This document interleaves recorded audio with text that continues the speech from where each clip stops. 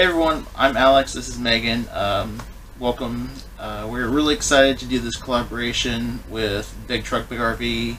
Uh, we love watching his videos and tours of all sorts of really cool campers he gets to see. Um, so today we're going to show you our camper that we just bought um, about a month ago. It's a, a 2021 Keystone Hideout 26 BHWE. Um, so, so yeah. So currently, we are parked at our house in Tacoma, Washington. We usually pull the trailer onto the side of our house and it stays here all year. We are part-time campers, mostly on the weekends and some long extended stays, but mostly on the weekends. Um, so we just got back from uh, Beaver Bay, which was Cougar, Washington, which was a okay campground. It was dry camping. Um, wasn't the nicest place, but uh, It was beautiful. it was very beautiful. The lake was very beautiful. Uh, we had a good time camping and uh, going out on a boat. Um, so one thing we do is we keep a Google spreadsheet of all of our camping trips, you know, past and future, and inside it um, we keep track of you know places we'd like to go to, places we didn't like to go to. Um, how also really cool to do this spreadsheet is to keep track of the mileage on the camper, so we can track how much uh, usage is done on the tires and the axles.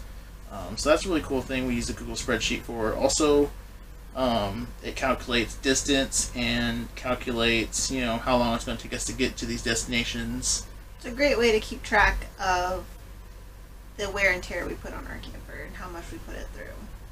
So, quick rundown. Um, so, we have a 2016 Silverado, uh, 2500. Um, the towing capacity of that truck is 1400 pounds. It's a crew cab truck. Um, it's a really great truck for towing the camper. Uh, has lots of power. Uh, we debated a lot. This truck is gas, and we debated a lot about buying gas versus diesel. Um, and we pretty much went with gas because it was cheaper and we carry gas with us um, for the generator, so it made sense to get a gas truck or carrying gas. So that's the reason we went with that. Um, the truck, you know, definitely has a lot of power. Uh, it can tow fourteen thousand pounds, and which the trailer gross vehicle weight is only six seven thousand six hundred and twenty. So definitely pulls the trailer with no problem. So I would highly recommend if you're going to be towing a trailer that has a you know gross vehicle weight rating of 7,000, a three quarter ton truck is definitely the way to go.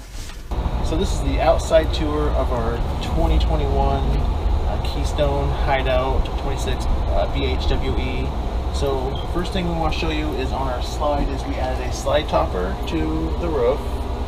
Um, the power inputs down here for our 30 amp shore power Underneath here is the black and gray tank flush, which we keep our water, sewer hoses, and all of our tools in this storage compartment back here. Moving around to the back side of the camper, um, we have our city water connection and our utility or outside shower. It's pre-wired for the Furrion backup camera. And we move over to this side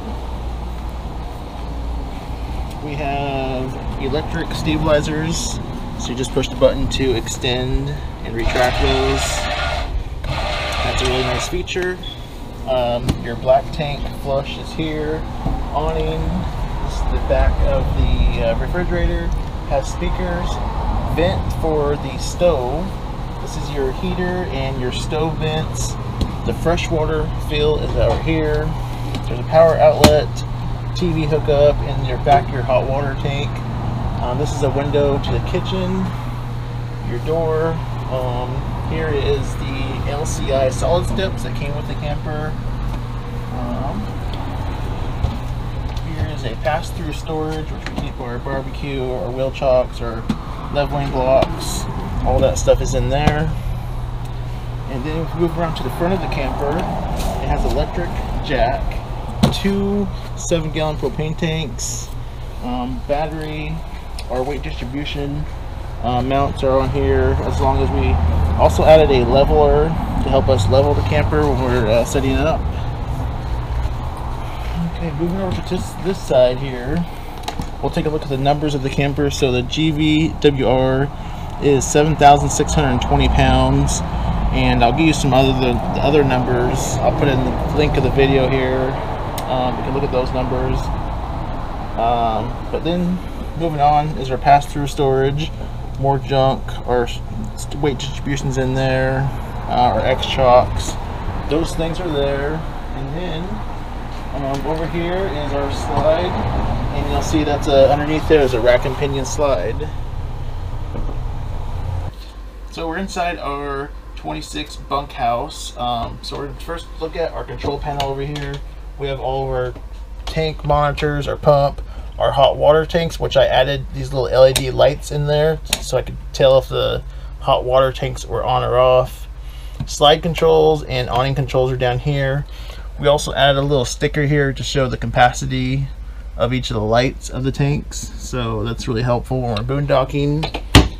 Um, here's all of our light controls. We added this little carrier right here. Um, over on this side is our entertainment center. It has upgradable Wi-Fi module that you can buy extra, which we haven't done yet. We put it in a 43 inch TV um, and we have pretty much our entertainment center. Down here is a switch which controls whether you run the fireplace or the air conditioner. So you can only have one on at a time. Kitchen's pretty basic, has a sink, has a really cool uh, vac room. I think it's like a central vac, has a hose under the couch. Um, that's pretty cool. Cabinets. Uh, we added a power strip over here. We also added this IKEA rack and the magnetic holder. Has a fan, microwave. Um, I think it's a Furrion stove, which is pretty nice. Works really well. Um, refrigerator, I think is an 8 cubic foot refrigerator freezer. Um, so that's that. Uh, moving on from the kitchen, your controls for your AC, ducted AC, and your heater, the gas heater, is right here. Um, we have a nice little pantry which keep all of our food and towels in. Alright, welcome to the bathroom of our trailer. So, first thing we upgraded in the trailer was we added a vent cover. This is so we could leave this vent open while we drive, which is really nice. The bathroom has lots of good lighting in here, cabinet. We added this little rack thing to hold our toothpaste, toothbrushes, and stuff. Has a power outlet, sink, storage under the sink, which we keep our chemicals and toilet paper down there. Um, the toilet is a porcelain toilet, which was different from our last camper, which are usually the plastic ones. So that's an upgrade. We added this IKEA rack, which is really handy for storing all our shavers and uh, Q-tips and things like that. The shower is very tiny, but it works. Um, we upgraded the handle down here, so we had it hot and cold separate, but now we have one, which is way easier to pick a temperature. We also added a different shower head, which is really nice in the camper. Um, we also added this little holder for our shampoos up here. And there's also a trash can behind the uh, toilet back there, which is nice. Uh, this camper has two bunk beds. I think they're full-size bunk beds with the ladder. Has a power outlet. Uh, both bunks have lights. Only the top bunk has a AC ducted vent. And then we also added this USB outlet, which we have a video on our channel if you want to see how we did that. And we added this little storage bin for people to store their cell phones and other accessories. We just got these little fans too while it's hot. Nice to have. And this bunk does have a blinds cover. I don't know what you want to call it. Uh, this is the dinette, which does fold down into a bed. Under each of these benches, there is storage underneath. Uh, blinds, windows, these two outer windows do open. The couch um, is a jackknife couch, which just can you know, fold down into a bed. It's really comfortable. We really like it, and there's also storage underneath the couch. Alright, now we're in the uh, bedroom of our camper. So we got this small TV and this mount we bought on Amazon, which is really nice. We could watch uh, TV in bed. Uh, really nice about this camper, it does have doors that close, so it gives us a little more privacy when we have other people camping with us. under the bed. Um, this does lift up for storage underneath. Um, and this bed is a combination of uh, Amazon, like a Casper mattress, foam gel, and then we also added a topper to the top of the mattress. So it makes it really comfortable. Um, okay, move around here. Not much. Um, I have a trash can on my side. Uh, we also added USB outlets down below um, so we could charge our phones while we're boondocking. It does have a regular outlet we use when we're hooked up to shore power. In the closet, Megan had put these hanging racks in here. I think they're from IKEA, uh, which is really nice to store your clothes. Behind there, there's also another tote storage um, we use for storage. And just recently, I added a shelf to the top of these closets, which is very nice. Um, another upgrade I did was just add these night lights which is really nice for at night to have a little bit of ambient light in here. Um, also, this shelf wasn't very secure, so I added another piece of wood inside of here, uh, which now makes this shelf a lot more secure. And I think that's it for the bedroom. So we absolutely love the RV lifestyle. We have had so much fun. Um, we have enjoyed just going new places. We spend most of the time in Washington we find a campground and then we can see whatever's nearby.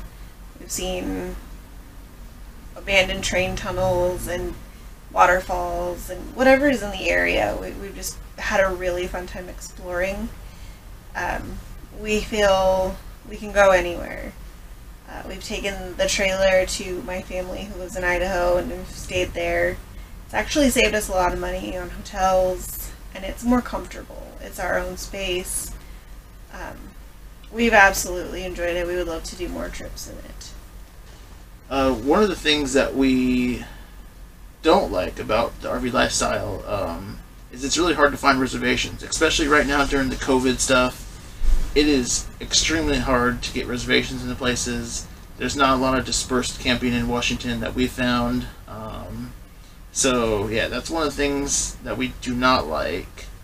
Um, another thing that's really hard is uh, reservations. A lot of the places you have to reserve over the phone, um, and it's really funny. I think like ninety-five percent of the places you call, they don't answer, so you have to leave a message. Or if they do have a website. I think we even found one that they wanted us to mail in our request for a reservation. Yeah, it was you can print it out and mail it in. I was just like, what? What is this? You know, it's just the reservation process for camping is just really bad. Um, hopefully someday it'll be fixed, but uh, right now it's just it's one of our dislikes is trying to find reservations. It's hard. Um, you have to call the place, you know, and, and sometimes we came across like they say they have hookups, which means to them they have water and power, and then they have a sewer dump station somewhere else. So it's one thing to watch out for. So if you do follow our channel, um, we really like doing lots of you know upgrade things in our camper. You know, we find new things. Um, I think someday you know maybe we'll do the Wi-Fi upgrade. Um, someday I do want to put a backup camera on this unit, but the one we had last camper, the backup camera was horrible, so we don't want to do the same one again. So we're looking for a solution for the backup camera. Um, we're going to install a propane quick connection on this camper um, so we can easily plug in the barbecue and easily plug in the uh, camp stove. Um, I have a really cool solution for the DVD player. Um, one thing about this camper is there's no like good place for a DVD player. So I have an idea of what I want to do, and I'll probably make a video on how I'm going to do that. We also have upgraded our cushions for the dinette. Um, we use, I think it's the Foam Factory website, has really good uh, seat cushions. Um, other things we're going to upgrade, I think, when you want to add some lights to the closets. And um, on the outside, this camper does have a LED white strip light, which is nice, but also really sucks because it attracts bugs. So I plan on putting a yellow light on the outside. So that's all coming up in our channel, and we'll definitely show you some more of our camping trips, camping upgrades. So Thank you for watching, and we hope you enjoyed the tour of our camper.